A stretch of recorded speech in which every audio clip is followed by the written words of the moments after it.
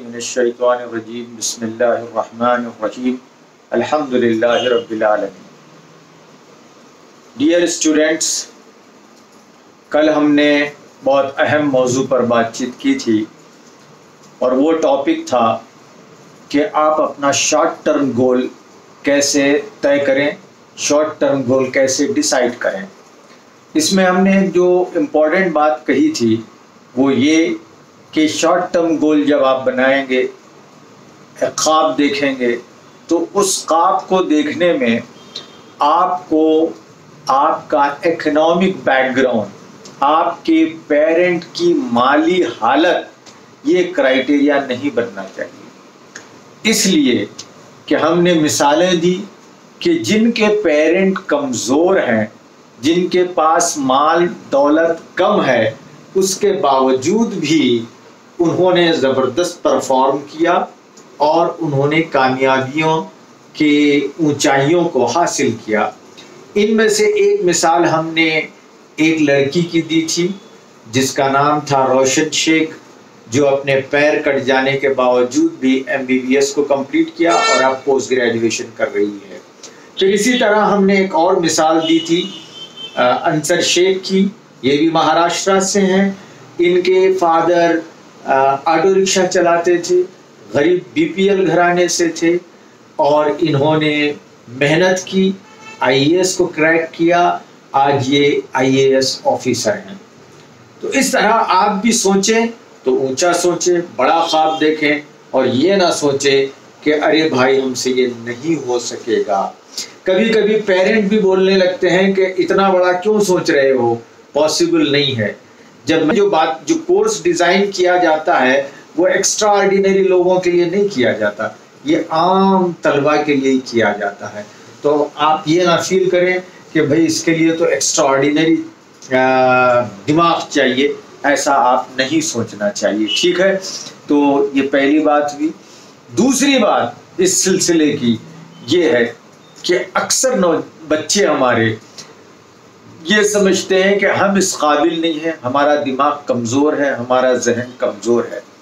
ऐसा इसलिए सोचते हैं कि उन्हें बिठाया जा रहा है एक्सटर्नल वर्ल्ड से। यानी बाहर की दुनिया, बाहर की दुनिया मतलब बार बार अम्मी ये कह रही है कि तू पढ़ नहीं रहा है, अब्बा ये कह रहे हैं कि तू पढ़ नहीं रहा है, दोस्त भी ये कह रहा है कि तू पढ़ता नहीं है और टीचर भी डिस्करेज कर रहा है। तो पूरा जो माहौल है हमारे अतराफ वो अगर डिस्करेज करने लगता है तो हम भी डिस्करेज हो जाते हैं और समझते हैं कि हम इस लायक नहीं हैं कि हम कोई बड़ा कारनामा अंजाम दे और बड़ा काम करें। इससे आप ऊपर आ जाए अगर आपको बेहतरीन टीचर मिलते हैं इनकरेज करने वाले टीचर मिलते हैं तो आप खुशकस्मत हैं। अगर आपके पेरेंट इनकरेज करने वाले मिलते हैं तो आप खुशकस्मत हैं। अगर मान लीजिए ना आपका टीचर इनकरेज कर रहा है, ना आपके पेरेंट इनकरेज कर रहा है, ना आपका दोस्त इनकरेज कर रहा है, लेकिन आप चट्टान की तरह खड़े हो जाइए और आप तय कीजिए कि मुझे ये करना है। क्योंकि अल्लाह ताला ने जो दिमाग दिया है, कहा यह जाता है कि इंसान अपने दिमाग का सिर्फ़ दस परसेंट भी इस्तेमाल नहीं करता। अगर वो दस परसेंट से ज़्यादा इस्तेमाल कर ले तो और बड़े कारनामे कर सकता है। हम और आप अपने दिमाग की जो सलाहियत है, उसका दस परसेंट ही करते हैं, उससे कम करते हैं। तो हम सोचें कि दस परसेंट में इतना हो सकता है तो क्यों ना मैं अपने दिमाग का इस्तेमाल बढ़ा दूँ? अगर मैं अपने दिमाग का इस्तेमाल बढ़ा दूँगा तो फिर इंशाला कामयाबी मेरे हाथ एक और चीज़ है जो हमारे बच्चों को, आपको डिस्करेज कर देती है। और वो चीज़ ये है कि हमारा परफॉर्मेंस बास सब्जेक्ट्स में, जैसा जैसा हम ऊँची क्लासों में जाते हैं तो परफॉर्मेंस और हमारा स्कोर घटता जाता है। चंद के साथ ऐसा होता है, लेकिन बास के साथ उल्टा हो जाता है। पहले कमज़ोर थे, लेकिन अब इनका परसेंटेज बढ़ रहा है। अब आप किस कैटेगरी में हैं, देख लें। अगर आप बढ़ने वाली कैटेगरी में हैं तो बहुत अच्छी बात है। अगर आप घटने वाली कैटेगरी में हैं तो आप मायूस ना हो। आप डिप्रेशन में ना चले जाए। आपकी जो उम्र है, इस उम्र में फौरी बच्चे हमारे डिप्रेशन में चले जाते अरे मेरे इतने मार्क्स आ गए। फाइनल ईयर फाइनल एग्ज़ाम में सेवेंथ में इतने आए थे, एट्थ में मेरे इतने आ गए। एट्थ में इतने आए थे, नाइन्थ में इतने आ गए। मैं होमवर्क नहीं कर पा रहा हूँ। मैं टेस्ट में अच्छा स्कोर नहीं कर पा रहा हूँ। तो डाउन हो जाता हूँ। नहीं, कोई बात बड़े बड़े लोग ग्रेड नाइन तक वो कुछ नहीं कर रहे थे। फेल हो जाते थे। लेकिन बाद में उन्होंने मेहनत की और छलांग लगाई। तो इसको क्या करना है? अक्सर जो बच्चे मायूस हो जाते हैं या परफॉर्मेंस की कमी आ जाती है, उसका रीजन ये होता है कि हमारा पीछे का मामला, वो जो लर्निंग प्रोसेस होता है, सीखने का इल्म हासिल करने का, उसमें एक कड़ी मिस हो जाती है, टूट जाती है। फॉर एग्ज़ाम्पल अगर आप मैथमेटिक्स कर रहे हैं तो मैथमेटिक्स ये पूरा सारा मामला चेन वाला होता है। अगर आपको एलसीएम निकालना है तो फ्रैक्शन का नॉलेज चाहिए। फ्रैक्शन निकालना है तो फिर आपको मल्टीप्लीकेशन का नॉलेज चाहिए। मल्टीप्लीकेशन के नॉलेज के लिए आपको डिजिट्स का नॉलेज चाहिए। तो ये पूरा सीरीज़ नीचे से ऊपर जाती है। अगर कहीं बीच में कड़ी टूट गई तो आपको परेशानी होती है, समझ में नहीं आता। एक सर्वे हुआ था कुछ दिनों, सालों पहले गवर्नमेंट ने करवाया था कि बच्चे स्कूल से क्यों चले जाते हैं? ड्रॉप आउट जिसे कहते हैं। और इंडिया में आपके उम्र के बच्चों का ड्रॉप आउट सबसे ज़्यादा है। यानी between twelve to eighteen years ये जो एज है, इस एज में ज़्यादा बच्चे तालीम से दूर भाग जाते हैं। क्यों ऐसा? सर्वे हुआ। गवर्नमेंट ने कहा कि स्कूल में टॉयलेट नहीं होता, इसलिए बच्चे भाग जाते हैं। एक प्राइवेट ऑर्गेनाइजेशन, एनजीओ, उसने कहा कि ये कोई बात नहीं हो सकती। कि टॉयलेट नहीं है तो बच्चा स्कूल नहीं आ रहा। क्या वो स्कूल पढ़ने आता है या टॉयलेट करने जाता है? तो उसने अपने तौर पे फिर सर्वे किया।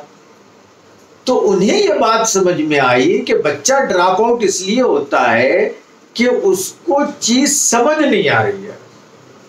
जब समझ नहीं आ रही है उसको चीज़ तो उसके टीचर उसे डांट रहे हैं।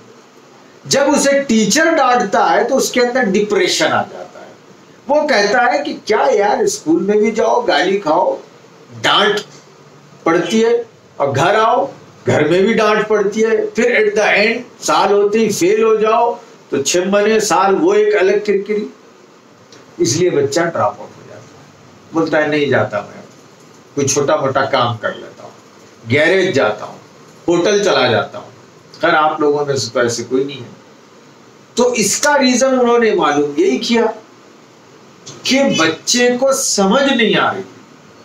बच्चे का लिंक टूट रहा। मैं इसकी मिसाल देता हूँ। अगर आपको समझ में नहीं आ रही तो आपको इंटरेस्ट जनरेट नहीं होता। इंटरेस्ट जनरेट नहीं हुआ तो आप फिर पढ़ते नहीं है। मसलन आप घर में बैठे हुए हैं टी ट्वेंटी देख रहे हैं, कोई बाहर से मेहमान आ गए, उन्हें आपने बिठाया टीवी चल रहा है, और आप गए चाय लाने के लिए। अब वो जो मेहमान थे, वो मेहमान मान लीजिए यूरोपियन कंट्रीज़ से आए हैं, उनको क्रिकेट के बजाय बेसबॉल से दिलचस्पी है। तो उन्होंने फौरी चैनल बदल दिया और बेसबॉल देख रहे हैं। अब आप चाय लेकर आए। आपको बेसबॉल समझ में नहीं आता। तो आप क्या करेंगे? थोड़ी देर बैठेंगे, उसके बाद कहेंगे कि आप बेसबॉल देखते रहिए, मैं जरा अंदर जाके आता हूँ। या कुछ दूसरे काम में मसरूफ हो जाएँगे। क्यों ऐसा हुआ? इसलिए कि आपको बेसबॉल समझ में नहीं आ रहा। तो इसी तरह अगर आपको, देखिए, अक्सर बच्चों को मैथमेटिक्स का प्रॉब्लम होता है, इसलिए ड्रॉप आउट हो जाता है। मैथमेटिक्स के बाद दूसरे नंबर पे दो चीज़ें आती हैं। एक, या तो इंग्लिश लैंग्वेज, या फिर साइंस। ये दो चीज़ों में फिर प्रॉब्लम होती है। इंग्लिश लैंग्वेज अगर नहीं आती है आपको तो प्रॉब्लम ये होता है कि सब्जेक्ट समझ नहीं सकते आप। मसलन आप मैथमेटिक्स में two plus three plus two minus five, अगर ये इक्वेशन डाल के दे आपको तो आप फटाक से कर देंगे। लेकिन यही मैथमेटिक्स का सम अगर डिस्क्राइब किया जाए, स्ट्रक्चर किया जाए, जुमलों में दिया जाए कि there are two buffaloes another three buffaloes join and again two goats brought in again after some time one goat died, another uh, buffalo was di died after three months. So after the end of year, how many animals were there in the farm? अब आप परेशान हो जाते हो sir खुजाने लगते हो इसलिए कि वो अंग्रेज़ी समझ में नहीं आ रही इसलिए प्रॉब्लम में आ जाते हैं तो अंग्रेज़ी और साइंस, ये दो का प्रॉब्लम दूसरे नंबर पे होता है। तो इसके लिए क्या करें? इसके लिए हिम्मत नहीं रही दुनिया में कोई चीज़ इंपॉसिबल नहीं है। आपको घबराने की ज़रूरत नहीं है। आप अपनी इंग्लिश इंप्रूव कर लें। इंग्लिश इंप्रूव करने के लिए आज यूट्यूब में बहुत सारे प्रोग्राम आते हैं। आप मुसलसल तीन महीने मेहनत करें, आपकी इंग्लिश वंडरफुल हो जाएगी। और मैथमेटिक्स के लिए आप शर्माइए मत। मैथमेटिक्स को इंप्रूव करने के लिए मान लीजिए आप ग्रेड नाइन में हैं। मैथमेटिक्स का प्रॉब्लम हो रहा है। तो आप अपने दोस्त या टीचर या जो भी मैथमेटिक्स आपको समझा सकता है उससे रिक्वेस्ट करिए कि सर मुझे पीछे ले जाइए। अब आप आइए ग्रेड फाइव से। आपको ये मैं मालूम कराना चाहता हूँ कि आ, एक बहुत बड़ा इदारा है जो बच्चों को आईआईटी की ट्रेनिंग देता है। ओके जेईई एग्ज़ाम जो होता है, यानी आईआईटी में बी करने के लिए वो टेस्ट देना पड़ता है आपको। तो वो क्या करते हैं? वो क्या करते हैं? वो बच्चों को ग्रेड वन से मैथमेटिक्स करवाते हैं। बेंगलोर में सेंटर है उनका, मैं जा, गया था। तो वहाँ बच्चे जब मैट्रिक के बाद वहाँ आते हैं ग्यारहवीं और बारहवीं करने के लिए पीयूसी फ़र्स्ट और सेकंड के लिए, और साथ ही साथ जेई की तैयारी। तो बच्चा चाहे वो मैट्रिक में नब्बे नंबर लेके आए, नाइन्टी मार्क्स, उसके बावजूद उनको, उस बच्चे को ग्रेड वन से मैथमेटिक्स कराई जाती है फाउंडेशन स्ट्रॉन्ग तो ये आप कर लें, अगर मैथमेटिक्स नहीं आ रही है तो पीछे जाइए, पीछे से फिर वापस आइए इनशाला आपकी मैथमेटिक्स वंडरफुल हो जाएगी। और कभी मैथमेटिक्स से मत घबराइए। और बुनियादी मैथमेटिक्स हर कॉम्पिटिटिव एग्जामिनेशन के लिए ज़रूरी है। आगे चलकर, चाहे जेईई हो, चाहे क्लैट हो, चाहे नीट हो, चाहे दूसरे जो भी सब्जेक्ट हो, उसमें आपको critical thinking analytical thinking okay reasoning ये सारी चीज़ों के सवाल आने वाले और ये सारों का ताल्लुक बेसिक मैथमेटिक्स से। अगर मैथमेटिक्स अच्छी होगी, आप आईएएस में यूपीएससी क्रैक करेंगे। पहले होता ये था कि बीए पास करके बहुत आसानी से यूपीएससी और दूसरे एग्ज़ाम पास कर लेते थे। लेकिन अब बेसिक मैथमेटिक्स हर जगह ज़रूरी हो गई। तो आप बेसिक मैथमेटिक्स से घबराइए मत। दसवीं तक आपकी मैथमेटिक्स स्ट्रांग हो और उसका तरीका ये है कि आप पीछे जाइए, शर्माइए मत। आप ये मत सोचिए कि अरे मैं तो अभी ग्रेड नाइन में आ गया हूँ, किस तरह मैं ग्रेड टू की सब्ट्रैक्शन एडिशन करूँ? नो घबराइए मत, नीचे से जाइए, इंशाल्लाह आप ठीक होंगे। अब इसके लिए और एक मैं आपको टिप देता हूँ। अगर मान लीजिए आपको कोई नहीं मिल रहा है तो आप अपने मोबाइल फ़ोन में दुनिया भर की चीज़ें देखते हैं। दुनिया भर के गेम खेलते हैं। क्या क्या नहीं करते आप? बहुत काम करते हैं। तो वो काम के साथ एक काम छोटा कर लीजिए। वो ये कि खान एकेडमी आप टाइप कीजिए। खान एकेडमी का आपको ऐप मिलेगा। उस ऐप को डाउनलोड कर लीजिए। और उसको देखिए वॉच कीजिए। उसमें सारे लेसन हैं। आप ग्रेड वन से जाइए ग्रेड टू से पूरे खान एकेडमी के प्रॉब्लम सॉल्व करते जाइए, उसे सुनिए, देखिए। अब तो वो हिंदी में भी आ गया है तो आपकी मैथमेटिक्स आप इंग्लिश में इंप्रूव कर इंग्लिश इंप्रूव करेंगे आप तो आपको जो आप पढ़ रहे हैं, वो समझ आएगा। और लिखने में सहूलत होगी। आपको मगब करने की ज़रूरत पेश नहीं आएगी। तो ये दो काम कर लेंगे आप। तो आपका जो फियर है खौफ है कि मैं नहीं पढ़ सकता, मैं क्रैक नहीं कर सकता, आपका खौफ एक हिम्मत में बदल जाएगा। दो वजूहत से मैथमेटिक्स और लैंग्वेज ये दो के कमांड दो पे कमांड आ गया तो आप देखेंगे आपके अंदर एक हिम्मत आएगी एक हिम्मत आ गई। और कभी दोस्तों से इस मामले में इन्फ्लुएंस मत हो अरे, तू क्या एमबीबीएस करता तेरी सूरत देख आई करता। सूरत का ताल्लुक आई से नहीं है। आपके अंदर जो ख्वाब है, अज़म है, उससे इसका ताल्लुक। तो आप दोस्तों से नेगेटिव इन्फ्लुएंस जो होता है, उससे आप मत हुए।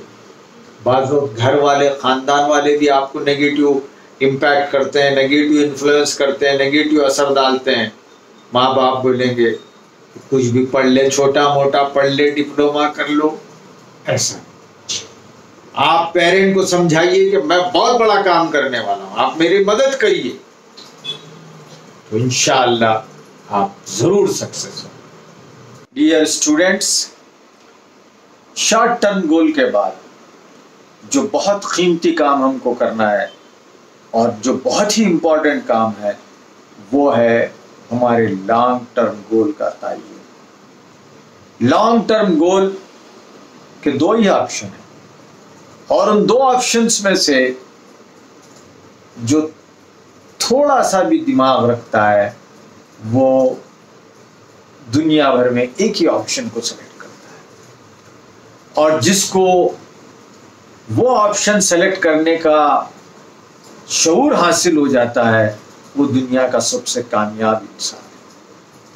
और वो ऑप्शन है कि हम नेमतों भरी जन्नत हासिल करें। अल्लाह ताला ने जन्नत का जो डिस्क्रिप्शन दिया है, वो इंसान को, दुनियावी इंसान को, जो दुनिया में ज़िंदगी गुजार रहा है, उसको समझ में आने के लिए कुछ डिस्क्राइब किया है। जबकि बहुत सारे ओलमा ये कहते हैं कि जन्नत इतनी बेहतरीन चीज़ है कि आप उसको कंस्यूम नहीं कर सकते। आज हमारी और आपकी ख्वाहिश होती है, हम देखते हैं ना, कार देखते हैं, गाड़ी देखते हैं, आज हर इंसान सेल्फी लेता है, अपने आप में मगन है कहीं पार्क में जाते हैं तो सेल्फी लेते हैं बार बार देखते हैं कि काश मेरे पास भी ऐसी कार हो, ऐसा बंगला हो, ऐसा बाग हो, ऐसी नहरें हो, ऐसी मल्टी फ्लोर बिल्डिंग हो। बड़ी ख्वाहिश पैदा होती है। ये सारी ख्वाहिशें मेरी और आपकी वहाँ पूरी तरह पूरी होंगी। इतनी ज़बरदस्त जन्नत है। जन्नत को आप दिमाग आपका कंस्यू नहीं कर सकता, इतनी भारी नेमत है। अब आप खुद अंदाज़ा लगाइए कि आज से 20 साल पहले अगर किसी इंसान को आज के स्मार्टफ़ोन के बारे में कहते तो क्या वो कुछ तस्वुर कर सकता था? तो बोलता था कि क्या मज़ाक की बात है, क्या मुमकिन है कि कोई बैठ के कहीं स्पीच दे और आप यहाँ करें। या ये कैसे मुमकिन है कि आप आवाज़ के साथ साथ इंसान को भी देख लें? ये तो हम हाल हाल तक इस पर यकीन नहीं करते थे। तो इसी तरह जन्नत को जो डिस्क्राइब किया जाता है, वो हम जितना कंस्यू कर सकते हैं, उतना ही डिस्क्राइब किया गया है। वरना जन्नत की नेमतें बेइंतहा आप उसका तस्वुर नहीं कर सकते। इतनी ज़बरदस्त इतना ज़बरदस्त वहाँ का माहौल। तो मेरे प्यारे बेटे और बेटियों, हमको और आपको जन्नत की ख्वाहिश है। खुश नसीब वो इंसान है जो अपना लॉन्ग टर्म गोल जन्नत तय करता है। बदनसीब वो इंसान है, बदनसीब वो नौजवान है, बदनसीब वो स्टूडेंट है जो कंफ्यूजन का शिकार हो जाता है। कहता है कि साहब जन्नत किसने देखी है? है कि नहीं? मौलाना मौदूदी से पूछा गया इसी तरह का सवाल। तो मौलाना मौदूदी ने कहा कि जन्नत देखी कितने ने है? अगर इसके चांसेस आधे हैं तो जिन्होंने नहीं देखी, उसके भी चांसेस आधे हैं।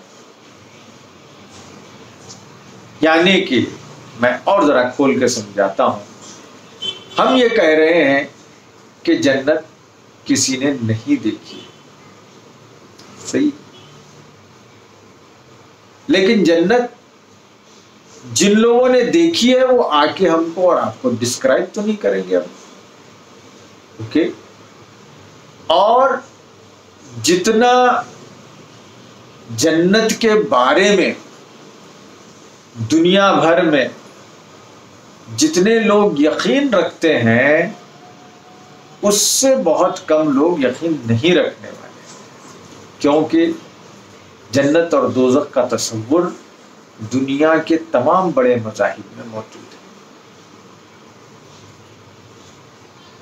तो जो जन्नत की तमन्ना रखता है, उसका गोल पड़ा अब उस जन्नत को हासिल करने के लिए हमको इस शॉर्ट टर्म गोल को भी हासिल करना है और शॉर्ट टर्म गोल को हासिल करने के लिए हम जिस तरह की चीज़ें पढ़ते हैं और तैयारी करते हैं लॉन्ग टर्म गोल की भी वो तैयारी करते हैं। हम 20 साल 22 साल के बाद कुछ नेमतें 60 साल तक हासिल करने के लिए मेहनत कर रहे हैं। बमुश्किल 40 सालों के लिए हम ये मेहनत कर रहे हैं। और लॉन्ग टर्म गोल जिसके बारे में कहा गया कि ये लामुतनाही होगा। इसकी कोई लिमिट नहीं है। इसको कहते हैं इन्फिनाइट मैथमेटिक्स आप पढ़ते हैं। एक किताब आई है गुजश्ता दिनों। आदमी दो किस्म के गेम खेलता है। एक फाइनाइट और एक इनफेनाइट तो हम इनफेनाइट गेम खेलने की तैयारी करें। फेनाइट मतलब यही देखने वाला बिल्कुल करीब वाला। तो हम इन्फिनाइट गेम अगर खेल रहे हैं, वो मकसद हमारा है, उतनी लामुतराई ज़िंदगी है तो बताइए उसकी तैयारी भी उतनी होना चाहिए। छोटी चीज़ को हासिल करने के लिए आदमी छोटी दौड़ धूप करता है, और बड़ी चीज़ को हासिल करने के लिए ज़्यादा दौड़ धूप करना पड़ता है। अगर आप सेवेंथ पास कर लेना चाहते हैं तो आप सात साल पढ़ेंगे। सेवेंथ पास हो गए, चले जाइए आप। अगर आप एमबीबीएस करना चाह रहे हैं तो लंबी स्ट्रगल है। अगर आप आईएएस बनना चाह रहे हैं, लंबी स्ट्रगल है।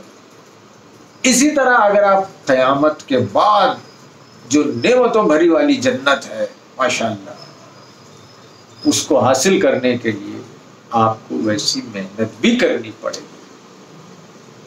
डॉक्टर बनने के लिए आईएएस बनने के लिए, डिफेंस में जाने के लिए हम किताबें पढ़ते हैं। उस आखिरत को हासिल करने के लिए अल्लाह ताला ने एक किताब उतारी है। उसी का ये महीना है। वो किताब ताखों में बंद करके रखने के लिए नहीं है।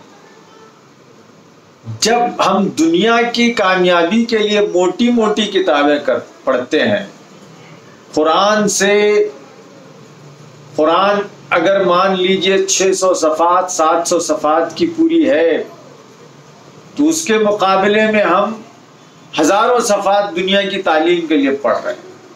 आप ग्रेड वन से अंदाज़ा लगाइए ग्रेड वन से आप ग्रेजुएशन तक कितने पढ़ लेते हैं? ये दुनिया के लिए 20-25 साल के लिए। लेकिन उस आखिरत की तालीम कामयाबी के लिए हम कुरान को छू नहीं रहे उसको पढ़ नहीं रहे हैं। पढ़ेंगे तो समझ नहीं रहे। अगर हम एमबीबीएस की किताबें खोल के पढ़ लें बिना समझे, मैं अगर पढ़ लूँ सारी किताबें, काफ़ी किताबें मैं पढ़ता हूँ तो चलो लाओ भाई। हमारी बच्ची से हम ये बोलें कि तेरी सारी किताबें दे दे एमबीबीएस वाली, मैं भी डॉक्टर बन जाता हूँ और मैं खूब पढ़ लूँ दिन रात तो मैं डॉक्टर बन जाऊँगा। नहीं। यही मामला कुरान मजीद के ताल्लुक से। क्या हम सिर्फ़ यूँ ही कुरान मजीद, अरबी मतन पढ़ लें? तो हम मोमिन कहलाएँगे। हो सकता है कानून मोमिन बन जाए, लेकिन अल्लाह की नज़र में जो मकबूल मोमिन है, उसको तो समझ के पढ़ने की ज़रूरत है। तो लॉन्ग टर्म गोल हासिल करने के लिए जो सबसे बड़ी शर्त है, वो ये कि हम कुरान को पढ़ें और कुरान को समझें। सिर्फ़ पढ़ना नहीं है, उसको समझना भी है। कुरान में है क्या? कुरान कोई किस्से और कहानियों वाली किताब किस्से और कहानियाँ भी उसमें हैं, लेकिन वो किस्से और कहानियाँ बयान करने का मकसद है। मकसद ये है कि हमको एक रास्ता दिखाया जाए। हमको ज़िंदगी गुजारने का तरीक़ा बताया जाए। हमको बताया जाए कि हम माँ बाप के साथ कैसे रहें, दोस्तों के साथ कैसे रहें, पड़ोसी के साथ कैसे रहें, उस्ताद के साथ कैसे रहें, हम अपने आप के साथ कैसे रहें। ये बहुत ज़रूरी है। आपकी उम्र में ये जानना ज़रूरी है कि आप अपने साथ कैसे रहें। नौजवानों को एड्रेस करते हुए कुरान मजीद में बहुत कहा गया। कि आपका खून तेज होता है। आप माँ बाप की इतात का ख्याल रखिए। अगर वो ज़यीफ़ हैं तो उन्हें उफ तक न कहिए, छिड़किए मत। उनकी खिदमत करिए। माँ की खिदमत करिए। बाप जन्नत के दरवाजों में से एक है। ये बताया आप का वलवला खून तेज होता है। आप अपनी निगाहों की हिफाजत कीजिए, अपनी आँखें नीचे गैब पर ईमान लाना ज़रूरी है। गैब पर ईमान क्या है? अल्लाह ताला आपको देख रहा है। आपके हाथ में मोबाइल है, घर में कोई नहीं है। आप किस वेबसाइट पे जा रहे हैं? यूट्यूब पर क्या देख रहे हैं? क्या वो चीज़ें देख रहे हैं? जिसके ताल्लुक से अल्लाह ताला ने कहा कि अगर तुम ये ये देखोगे तो कल क़यामत के दिन तेज रॉड, लोहे की सलाख गर्म करके आँखों में डाली जाए आप और क्या कर रहे हैं ये हाथ में जो सेट आ जाता है तो ये हमको कहाँ ले जाता है? ये शैतान का सबसे बड़ा आला बन जाता है। इसमें अच्छाई भी है और इसमें बुराई भी अल्लाह देख रहा है। अल्लाह मेरी मदद कर रहा है और अल्लाह मुझे देख भी रहा है। तो आज जितना गैब पर ईमान ज़रूरी है, पहले इतना नहीं हो नहीं, ज़रूरत शायद नहीं थी। अगर आपका गैब पर ईमान नहीं है तो आप अपनी आँखों को कंट्रोल नहीं कर सकते। ये उम्र में आपके जज्बात को कंट्रोल करना होता है। टीन एज बड़ी खतरनाक होती है। टीन एज में अंदर से ख्वाहिशात पनपते रहते हैं। ख्वाहिश होती है कि मेरी भी एक गर्लफ्रेंड लड़की की ख्वाहिश होती है कि मेरा भी एक बॉयफ्रेंड पहले तो अगर कहीं नज़र मिलती, दौड़ते तो मालूम हो जाता था। बड़ा मुश्किल काम था। किसी से आँख लड़ाना। लेकिन आज बड़ा आसान काम। चैटिंग। व्हाट्सएप। फेसबुक। आसान हो गया। है शैतान मदद कर रहा है। इसमें आप हिफाजत करना है। अपने जज्बात की हिफाजत। अल्लाह के प्यारे रसूल सल्लल्लाहु अलैहि वसल्लम ने फरमाया कि जो शख्स अपने दो आज़ा की ऑर्गन्स की मुझे ज़मानत देता है, मैं उसे वो लॉन्ग टर्म गोल जो जन्नत है, उसकी ज़मानत देता हूँ। देखिए, जन्नत हासिल करने का आसान नुस्खा। दुनिया की कामयाबी हासिल करने शायद मुश्किल है, लेकिन जन्नत अल्लाह ताला ने बड़ा आसान भी रख दिया है। लोग समझते हैं कि साहब, जन्नत हासिल करना मुश्किल काम है। नहीं। जन्नत एक ऐसी चीज़ है जिसको हासिल करने की कोशिश जो होती है दुनिया में उससे भी नफ़ा मिलता है, सुकून मिलता है, और उसका अल्टीमेट रिज़ल्ट भी बेहतरीन है। तो क्या कहा अल्लाह के रसूल? ये आप लोगों के लिए कि जो दो चीज़ों की गारंटी देता है, उसे जन्नत की एक जबान की और एक शर्मगाह की जबान, आपकी उम्र में जबान बेकाबू हो जाती गालियाँ निकलती एंगर ज़ाहिर होता है, और शर्मगाह की हिफाजत, शर्मगाह से जुड़े हुए जज्बात होते हैं। कहीं गलतकारी ना कर बैठे। इन जज्बात को सेटिस्फाई करने के लिए आपके अंदर से जज्बात उमड़ते वहाँ ना अम्मी नज़र आते हैं, ना अब्बा नज़र आते हैं, ना दीन नज़र आता है।